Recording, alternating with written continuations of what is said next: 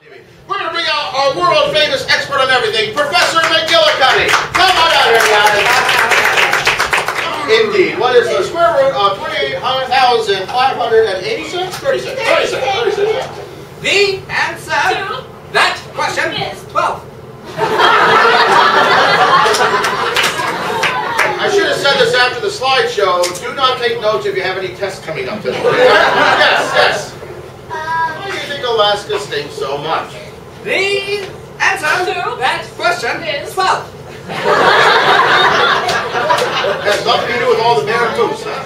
Have you been anywhere else besides Alaska? Very good question. I have bed everywhere in the world, including Alaska, and Djibouti which is in Djibouti.